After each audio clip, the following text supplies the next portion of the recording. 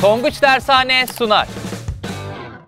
Tonguç Akademi'den herkese selamlar sevgiler arkadaşlar. Nasılsınız?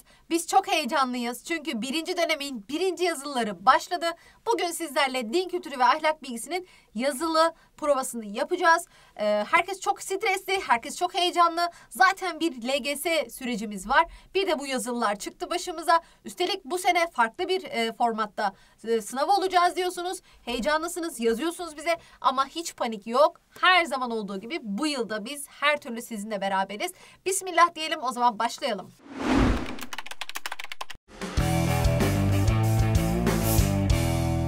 Şimdi arkadaşlar bu video yüz aldıran video diyoruz. Neden? Çünkü biz size öğrenci notlarını yani bilmeniz gereken her şeyi vereceğiz. Ne zaman veriyoruz? Bugün veriyoruz. Diğer derslerinize göz atmadıysanız mutlaka onlara da bir göz atın. Yarın da İngilizce var. Onu da unutmayın arkadaşlar. Hemen şöyle takvimimi hatırlattıktan sonra öğrenci notlarımdan bahsedeceğim dedim. Bakın biraz sonra bahsedeceğim şu konuların bütün konu notlarının, özetlerin hepsinin olduğu bir kitabımız var biliyorsunuz. Yazılı notlarına buradan da bütün konulara, e, özetlere ulaşabilirsiniz. Sürekli elinizin altında olur ve e, sınava girmeden önce hemen şöyle baktığınızda e, gayet rahat kendinizden emin bir şekilde sınavınıza girersiniz inşallah diyelim. Evet ve biz size bugün hap bilgileri vereceğiz arkadaşlar. Yani e, böyle biliyorsunuz biz e, kapsül bilgiler vermeyi çok seviyoruz. Açık uçlu ve klasik soruları nasıl gelebilecek bu sorular? E, nasıl cevaplar vermeliyiz? Bunları konuşacağız. Aynı zamanda ortak sınavda çıkabilecek e, çoktan seçmeli sorulara da değineceğiz. Şimdi ne demiştim? Size yazılı notlarımdan bahsetmiştim. Bu sene bir yeniliğimiz var biliyorsunuz arkadaşlar. Ortak sınav denemelerini ekledik kitabımıza ama nasıl ulaşacaksınız? Arkasında e, yer alan bakın aktivasyon kodumuz var. Aktivasyon için e, burada adımlarımız yazıyor. Nasıl yapacağını e, videodan da izleyerek e, daha kolay, daha hızlı bir şekilde e, anlayarak yapabilirsin. Merhaba arkadaşlar. Bu videoda yazı notları kitabımızdan MEP sınav denemelerine nasıl ulaşacağımızı göstereceğim. Telefonunuzda TATS uygulaması yüklü değilse hemen indirebilirsiniz. Öncelikle yazı notları kitabımızın arkasında bulunan bu etiketi nazikçe kazıyoruz. Burada gördüğünüz aktivasyon kodunu TATS uygulamasındaki kitap aktivasyonu bölümüne gireceğiz. Aktif et dediğimizde ise Gördüğünüz gibi MEP ortak sınav denemelerine kolaylıkla ulaşabiliyoruz. Bu sayede Milli Eğitim Bakanlığı'nın yapacağı ortak sınavlarda karşımıza çıkabilecek soru tiplerini çözeceğiz ve sınavlara tam anlamıyla hazır bir şekilde gireceğiz. Dilerseniz bu işlemleri tonguçmazda.com dijital kitap bölümünden de kolaylıkla yapabilirsiniz. O zaman hepinize yazılarda başarılar. Hemen bunu da hatırlattıktan sonra o zaman konu e, özetime yani öğrenci notlarıma geçiyorum. Şimdi bu ünitemiz kader inancıydı arkadaşlar. Ee, kader ne demekti? Hükmetmek, miktar işte anlamlarına geliyor. Ee, planlamak, programlamak, ölçüyle yapmak anlamlarına geliyordu. Kader arkadaşlar gelecek zaman diyoruz. Henüz yaşanmamış olan e, kendisi kader. E, kaza ise yaşanmış olması gerekiyor. Bir işin planlanmasıdır kader. Önce gelir. Ölçü düzen miktar sözlük anlamıdır. Kaderde Allah'ın ilim ve irade sıfatı ön plana çıkmıştır. Neden? Çünkü her şeyi bilmese nasıl plan yapacak değil mi? Peki e, her şeyi istediği gibi yapabilmese nasıl o programı yapacak? Dolayısıyla ilim, irade sıfatları Allah'ın her şeyi bilmesi, Allah'ın dilemesi, dilediğini dilediği şekilde yapmasına irade diyoruz. Hemen geliyorum kazaya. Kazanın sözlük anlamı emretme, hükmetme, yaratma, vuku bulma, gerçekleştirme anlamlarına geliyor. Planın gerçekleşmesidir. Sonra gelir yaşanmış olması gerekiyor. Ezelde bilinen ve takdir edilen şeylerin yani planlanan şeylerin yeri ve zamanı geldiğinde gerçekleşmesine kaza diyoruz. Kazada da kudret ve tekvin sıfatları ön plana çıkmıştır. Allah'ın sıfatları kudret, her şeye gücünün yetmesi, tekvin yoktan var etmesi, yaratması demektir. Bakın zaten yaratma, gücü yetirme. Şimdi e, eğer güç yetiremeseydi nasıl gerçekleştirecekti planı değil mi? Gerçekleştiremezdi. Dolayısıyla bu şekilde kodluyoruz aklımıza. Ardından Allah'ın her şeyi bir ölçüye göre yaratmasından bahsedelim. Evrendeki mükemmel bir ölçü ve düzenden bahsedeceğiz. Her şeyi bir plana göre ölçü içerisinde yaratmış. E, rastlantı ya da bir gelişi güzellik mümkün değil değil mi? Ya da bir dengesizlik bulunmuyor evrene baktığımızda. İşte mevsimlerin ardarda arda gelmesi ardından yaratılan hayvanlara, bitkilere bakın, insanlara bakın, insanın vücuduna, organlarına bakın, işte yüzüne bakın, burun, ağzının, işte kulaklarının hepsinin konumuna bakın. Baktığınızda hepsinde mükemmel bir sanat, ince bir sanat görüyoruz. Ee, ve Allah bizden bu dengeyi korumamızı istiyor. Yani dengeyi bozmayın e, diyerek bizden bunu muhafaza etmemizi istiyor. Allahü Teala evreni dedik ya mükemmel bir düzen ve uyum içerisinde yaratmış ve bu düzenin işleyişin devam etmesi için de belli yasalar, değişmez kanunlar koymuştur. Bunlara sünnetullah veya adetullah ismi e, Arapça isimleri bu şekilde ifade ediliyor. Allah'ın düzeni, Allah'ın planı demek. Allah'ın kanunları anlamına geliyor. Türkçesi olarak da biz bunlara fiz, e, biz bunlara evrensel yasalar diyoruz arkadaşlar. Evrensel yasalar üç tanedir. E, başka yok. Bazen sorularda dördüncü seçeneği eklemek için işte psikolojik yasalar, ekonomik yasalar, sosyolojik yasalar ya da işte e, kimyasal yasalar gibi yasalar koyuyorlar. Hayır arkadaşlar. Üç tane yasamız var. Fiziksel, biyolojik ve toplumsal yasalar. Fiziksel yasalar madde ve enerjiyle ilgilenir. E, ev, e, evrenseldir, değişmezdir. E, bilim e, ve işte teknolojinin gelişmesine katkı sağlıyor. E, maddeler arası ilişkiler bunlarla ilgili her şey yani cansız varlıklardan bahsetmesi gerekiyor. Deney gözleme dayanır yani deney ve gözlem yoluyla tespit edilebilir. Örneğin e, işte gezegen hareketleri, doğa olayları da fiziksel yasalara giriyor. Suyun kaldırma kuvveti su döngüsü, yağmurun yağması, mevsimlerin hareketleri, mevsim e, değişimleri, gel git olayları, suyun kaldırma kuvveti dedik işte e, yer çekimi kanunu e, bunların hepsi fiziksel yasadır arkadaşlar. Fiziksel yasayla pek çok teknolojik alet e, insanoğlunun e, böyle ilhamı olmuştur. Biyolojik yasalara gelelim. Biyolojik yasalarda canlıların yapısı, gelişimi, üremesiyle ilgili. Aynı zamanda bitkilerle de ilgili her şey, fotosentez olayları bunların hepsi e, biyolojik yasaya giriyor. Evrenseldir ve değişmezdir. Deney gözleme dayalır. Besin döngüsü, canlıların iskelet sistemi, bu kalemun tehlikeyle karşılaştığında renk değiştirebilmesi, bazı canlıların işte doğum yoluyla bazılarının yumurtlama yoluyla üremesi, e, sonrasında balıkların solungaçlı olması e, değil mi? Kuşların kanatlı yaratılması işte e, devenin mesela çöl hayvanı olarak kirpiklerinin aşağı doğru olması onu korumak adına. işte ya da sıcak iklim soğuk iklim hayvanlarının aralarındaki farklar özellikler bunların hepsi işte ağaçların meyve vermesi bitkilerin fotosentez yapması bunların hepsi arkadaşlar neye giriyor? Biyolojik yasalara giriyor. Gelelim toplumsal yasalara. Toplumsal yasalarda toplumu şekillendiren, toplumu düzenleyen, ahlak sistemiyle ilgili, sosyal ilişkilerle ilgili kanunlar, düzenlemeler, insanlar arası ilişkiler, neden sonuç ilişkisi içerisinde yer alır. Yani şu şu olursa şu olur dediğinde burada toplumsal yasalar vardır. allah Teala geçmiş toplumların hayatlarından Kur'an-ı Kerim'de bizlere bahseder. Bunlara kıssa deniliyor zaten. Anlatmasının sebebi ibret almamız. O toplumların yaptığı hataların aynısını bizler yapmayalım. Kendimize dersler çıkaralım diye bundan bahseder. Savaşın veya kuraklığın olduğu yerden göçün artması, göç olayları, adaletle ilgili, yardımlaşma, sevgi, kardeşlik, dostlukla ilgili her şey neye giriyor? Toplumsal yasalara giriyor. Şimdi bazı arkadaşlarımız bunları karıştırıyorlar. Nasıl ayırt edeceğiz? Fiziksel yasa cansız bir şeyden bahsediyorsa soruya bakacağım. Özne cansız bir şey mi? Anlattığı olay cansız bir şey mi? O zaman fiziksel yasa diyeceğim. Biyolojik yasayı nasıl ayırt edeceğim? Canlıdan bahsediyorsa, canlının yaratılışı, mesela insanın yaratılma evreleri ya da işte e, hayvanların işte kimisinin sürüngen, kimisinin iki ayağı üstüne durması ya da e, işte bitkilerin topraktan çıkan bitkilerden bahsediyorsa işte topraktan çıkan tarım ürünlerinden bahsediyorsa bunlar biyolojik yasadır. Veya işte e, sizden öncekilerin gelip geç e, sizden önce gelip geçenlerin yaptıklarına bakmaz mısınız ayeti? İşte hiç e, onların yaptığından ders çıkarmaz mısınız? Ya da ey insanlar birbirinizi arkasına çekiştirmeyin ya da ey insanlar kardeş olun gibi ayetlerde arkadaşlar neydir? Toplumsal yasayı vurguluyordur. Evet sonrasında insan iradesi ve kader konusuyla devam ettik. İnsan iradesi ve kaderde e, biliyoruz ki insan akıl ve irade sahibi bir varlık olarak yaratılmıştır. Dolayısıyla akıl irade varsa sorumluluk var diyoruz. Sorumluluk ne demek arkadaşlar? İnsanın e, özgürce yaptığı davranışların sonucunu üstlenmesine sorumluluk diyoruz. Şimdi irade, dileme, tercih etme, karar verme bunlar için gerekli güç ve yeteneğe sahip olmak demek. İrade ikiye ayrılır. Külli irade ve cüzi irade şeklinde. Külli irade Allah'ın mutlak ira- iradesi ve sınırsızdır. Bundan biz sorumlu tutulmayız. Yani Allah'ın bizim için takdir ettiği, planladığı bir şeyden dolayı Allah bizi hesaba çekmez. Peki külli iradeye ait olan şeyler yani Allah'ın iradesine ait olan özellikler neler? Cinsiyetimiz, ırkımız, ırkımız, doğum ve ölüm saatimiz, tarihimiz, e, nefes alıp vermek. Bunlar işte saç rengimiz, göz rengimiz, ten rengimiz, hangi milletten dünyaya geleceğimiz, anne babamız bunların hepsi külli iradeye aittir.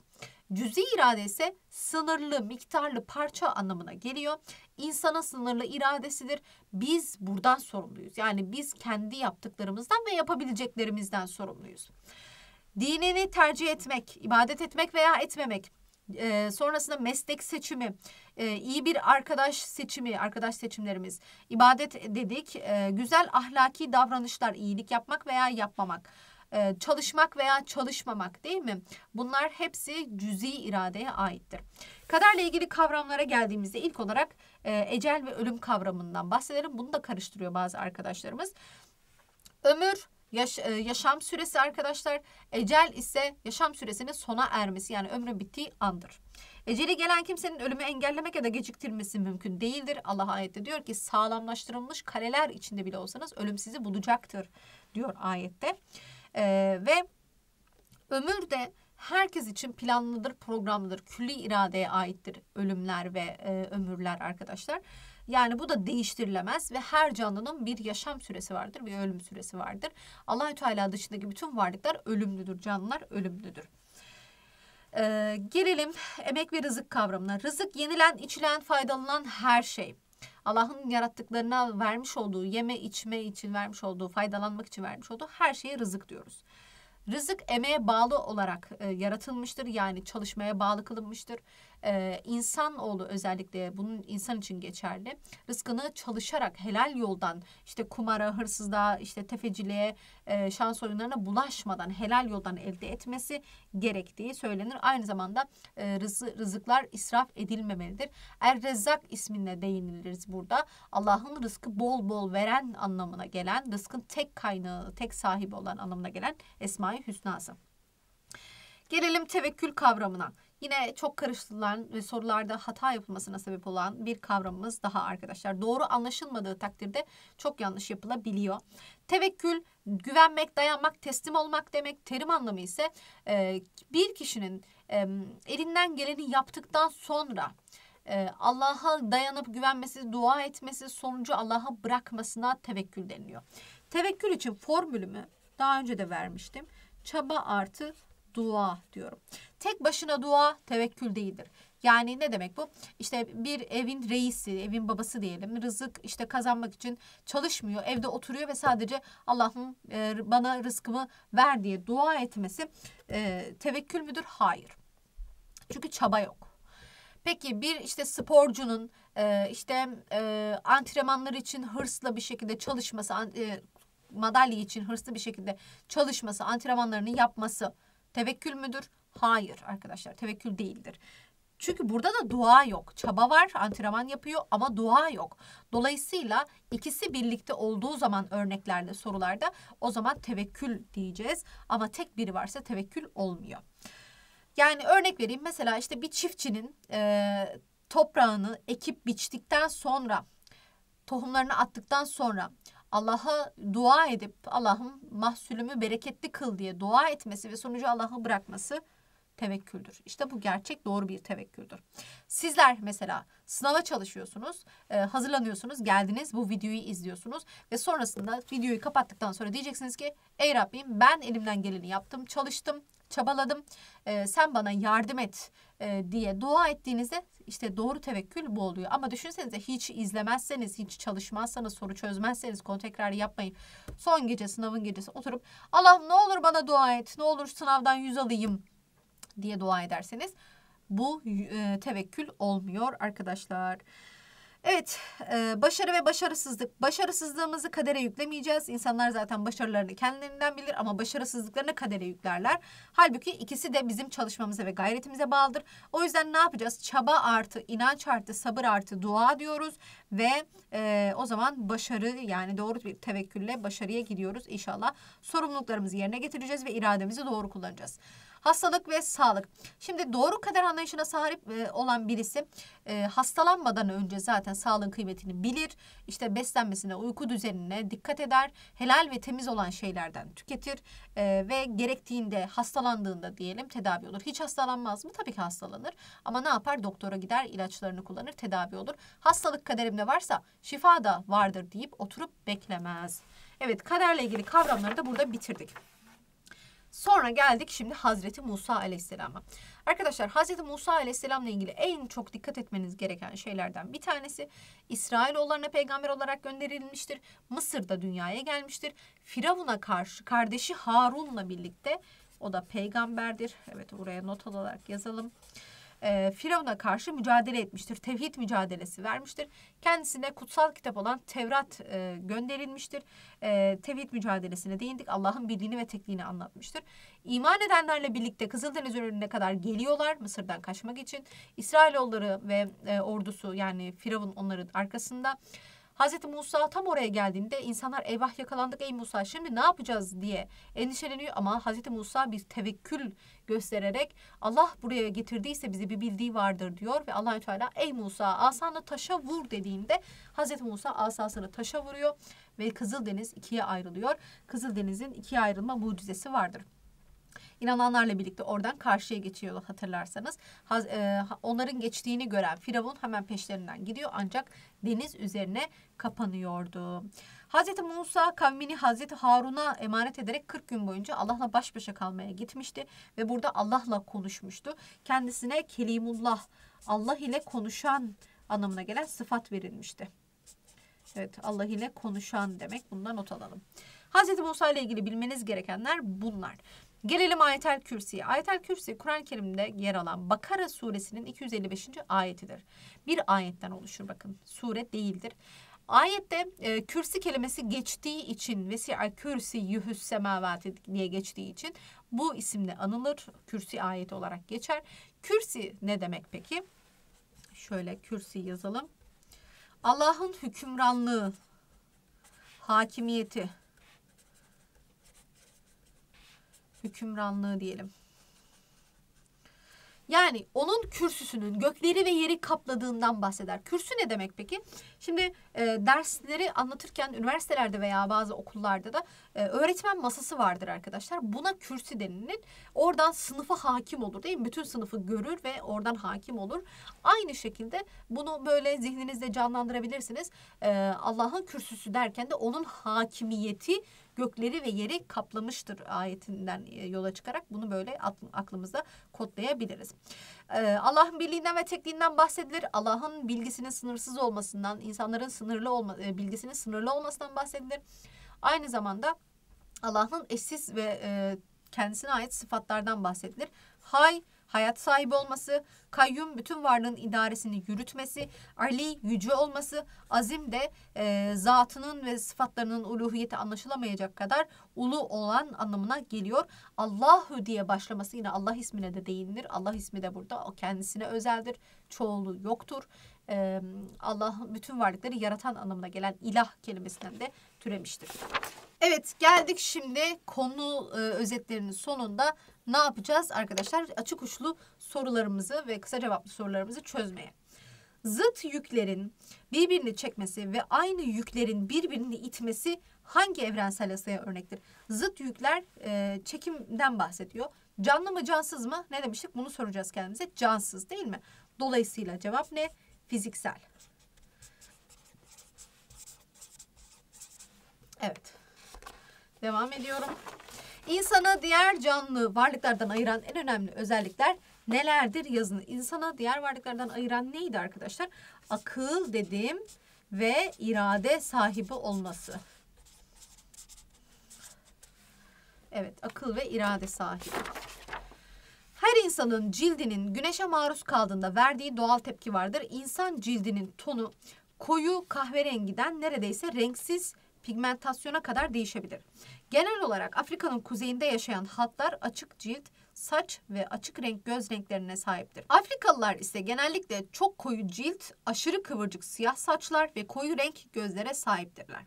Bu metin hangi irade çeşidine örnek olarak gösterilebilir yazınız. Şimdi e, insanın cildinin rengi, saç rengi, göz rengi hangi iradeye giriyordu?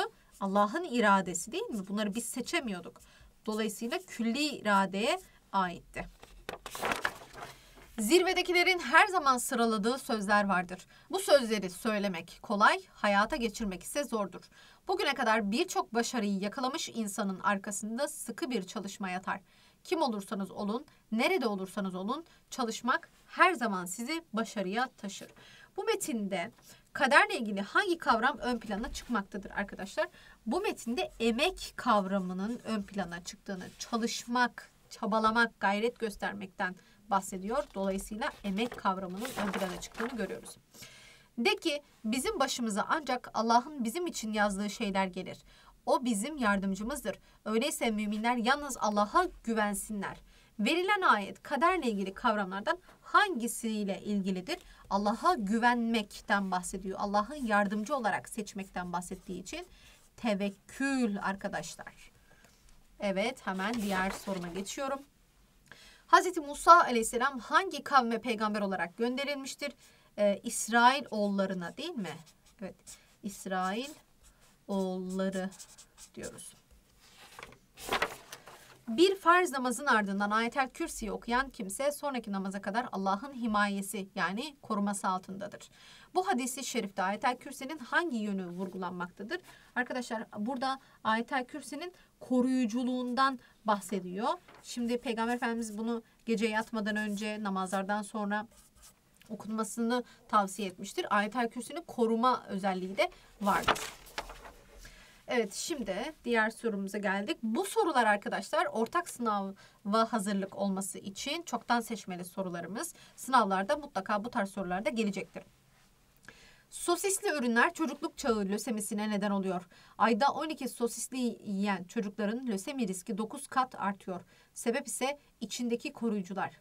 Sosislerin üretimini durdurmalı çünkü işlenmiş et ürünleri et olmaktan çıkmış toksit gıdalardır.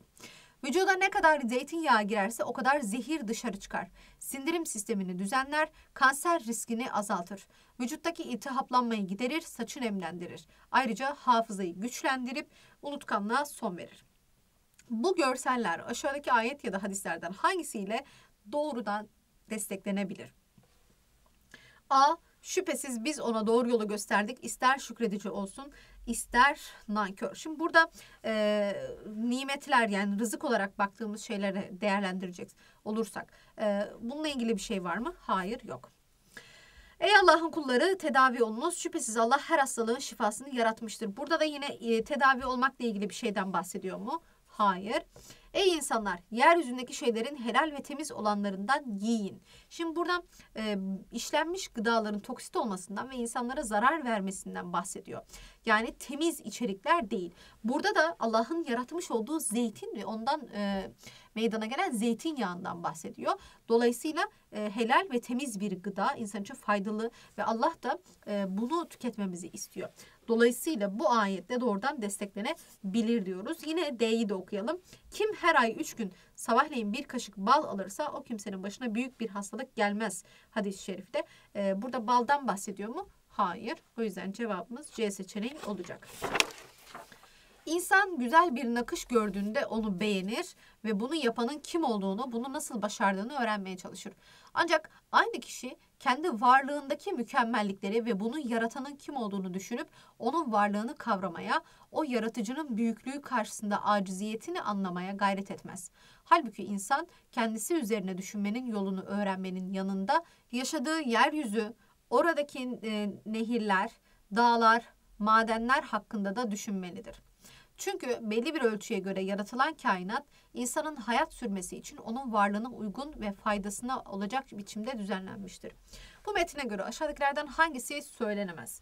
Şimdi Ee, baktığımızda arkadaşlar A seçeneğine kainatın düzeni ve içinde bulunan unsurlar insanın hayatını sürdürebilmesi için tasarlanmıştır. Evet burada e, özellikle bundan bahsediyor. Belli bir ölçüye göre yaratılmıştır. İnsanın hayatını sürdürmesi için e, oluşturulmuştur, tasarlanmıştır. İnsan çevresini gözlemleyerek düşünmeli, Allah'ın büyüklüğünü ve yaratıcılığını, yaratıcılığını anlamak için çaba sarf etmeli. Burada da ne dedi? Özellikle e, yaratanın kim olduğunu anlaması, bundan bahsetti, düşünmeli vesaire dedi. O yüzden bunu da eliyoruz. Evrende herhangi bir kusur bulmak e, bulmak için özel çaba sarf edilse bile bir sonuca ulaşılması mümkün değildir.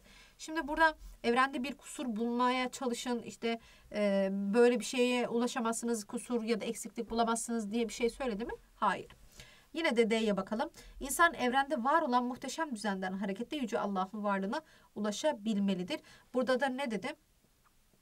Ee, Allah'ı öğrenmeye e, çalışıp dedi. Ne dedi? Aynı kişi kendi varlığındaki mükemmellikleri ve bunun yaratanı kim olduğunu düşünürse, onun varlığını düşünürse bunu bulur dedi. O yüzden buna da değinebiliriz ama C'ye ulaşamayız. Ahmet bir gün evinin elektrik panelinde bir sorun olduğunu fark etti. Bu konuda birkaç temel bilgiye sahipti ancak tamir işlerinde pek deneyimi yoktu. Yakın arkadaşları uzman bir elektrikçiden yardım istemesini tavsiye ettiler. Ancak o bu tavsiyeleri umursamadı. Birkaç video izleyerek elektrik panelini tamir etmeye karar verdi. Ancak işler yolunda gitmedi. Bir anlık dikkatsizlik sonucu yangın çıktı. Yangın hızla büyüdü. Ee, hızla büyüdü ve evi kısa sürede tahrip etti. Olayın sonunda kendisine yöneltilen eleştirilere Allah böyle takdir etmişse ben ne yapabilirim ki diyerek cevap verdi. Bu metine göre Ahmet ile ilgili yargılardan hangilerine ulaşılabilir diye soruyor bize. E, hatalarının sonuçlarını kaderi yüklemektedir. Evet kalkmış kaderi suçlamış böyle değil mi? Allah böyle takdir etmişse falan demiş. E, sorumluluk duygusuyla hareket etmiştir. Hayır sorumluluktan kaçmış arkadaşlar. Yani kendisi üstlenmiyor. Ben yaptım benim yüzümden oldu demiyor. Doğru tevekkül anlayışına sahiptir. Yanlış arkadaşlar doğru bir tevekkül anlayışına sahip değil. Dolayısıyla e, hangilerine ulaşabiliyoruz? Şöyle baktığımızda tabii ki sadece e, Ahmet'le ilgili e, A seçeneğine ulaşabiliriz. Hataların sonuçlarını kadere yüklemiştir. Ce- Cevabımız A seçeneği olacak. Evet peki map nasıl sorar arkadaşlar? Bakalım izniyle denizde yüzüp gitmeleri için gemileri emrinize veren, nehirleri sizin için faydalı olacak şekilde yaratan odur. Şimdi böyle bir ayet gelebilir karşınıza. Map tarzı, map biliyorsunuz örnek sorular yayınladı. Bu tarz bir soru geldiğinde ne diyor? Bu ayetin evrendeki yasalardan hangisiyle doğrudan ilişkili olduğunu yazınız diye sormuş. Şimdi denizde yüzen gemilerden bahsetti. Yani suyun kaldırma kuvvetinden bahsetti. Dolayısıyla fiziksel diyeceğiz. Fiziksel yasa. Peki başka nasıl sorar? Kim dine ve dünyaya yararlı bir iş yaparsa kendi iyiliği için yapmış olur. Kim de kötülük işlerse kendi aleyhine işlemiş olur.